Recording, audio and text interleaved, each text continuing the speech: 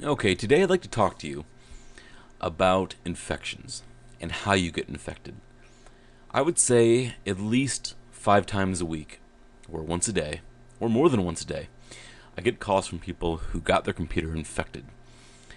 And they never really understand how they did it. They just usually say they restarted and the virus or the infection was there. Today, I'm going to show you a few ways on how you can get infected.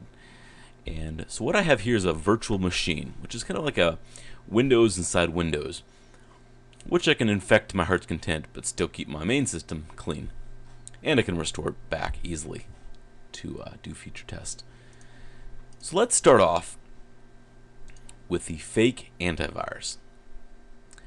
Now you usually stumble across these either through infected banner ads on websites, uh, Facebook advertisements on, say, um, Mafia Wars or Farmtown, or even if you're doing a search for, say, pets on Google and you click on the wrong link, all of them can result in this type of fake antivirus.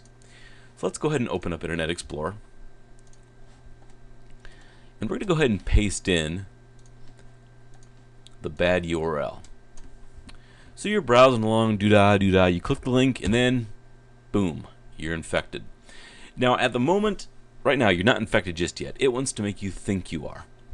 Uh, your PC may, may not have privacy protection system. This may lead, okay, let's go ahead and click cancel. And then it takes you to this. Uh-oh. System um, errors, uh-oh. More detected. Oh crap, 32 Trojans, what do we do? Oh no! Okay, so this is called scareware. This is meant to scare you to make you, oh crap, look at all those, to make you think that you're infected. So at this point, you're not really infected just yet. In fact, this is all through Internet Explorer. Oh no, cancel. Really, oh. Okay, so now it wants you to install this file to get rid of the infection. Now this file right here, this is the infection. So until you run this, you're not infected. So what we're going to go ahead and do, and when you get Oh, see, it's really hard to get rid of this stuff. Like cancel, ignore, it just will not let you out. So the only way to get rid of this is to right click on the taskbar, show the task manager, find one called IE Explorer or for Internet Explorer or Firefox.exe for Firefox and click in process. Yes. And see how it all went away? So let's go ahead and do it one more time, but this time we're going to be the average user who just kind of agrees with whatever it's telling you. Okay, we're to say go to your homepage. There we go. No. Okay, let's go back. We're to copy it again. Oops. And paste. Okay, so we're going to click OK. Okay, this is great. So it says um, General Antivirus, which is one of a million names it has, will uh, scan. Okay, please select Run or Open when prompted to start the installation. So it's saying when we prompt you for the virus or malware, please, you know, let it run. Let's hit OK.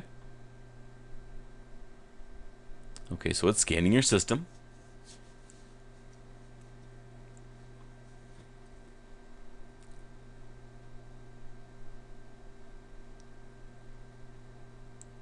Okay. We're going to say remove, oops, we're going to say remove all. Okay. So now it wants you to run this file, right? Okay, okay. Run.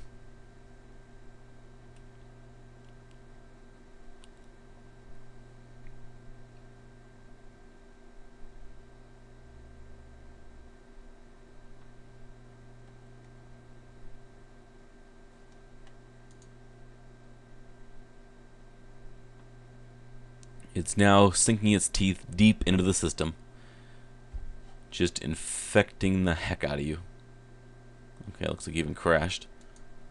Okay, there we go. We've successfully infected our machine with malware. Now at this point, once it makes it once it makes it into your machine, it can do with whatever it wants. It can install malware, it can install rootkits, it can install keyloggers to catch all your credit card information. It can um, capture keystrokes to your bank, um, whatever it wants. So now what it's telling you here is it's trying to make you think you are infected. So when it finally finds it to clean it up, you have to pay so much money for it. And once they get your credit card, then they steal it. Okay, let's wait till it gets done.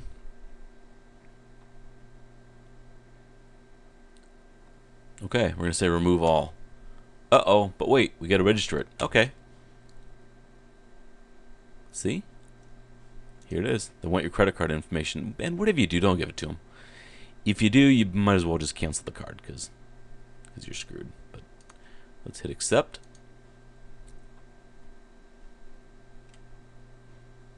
And there's all the credit card information, including the wonderful security code that every site wants to make sure you are the valid owner of the card, which defeats the purpose. So that is one way you can infect your system with malware.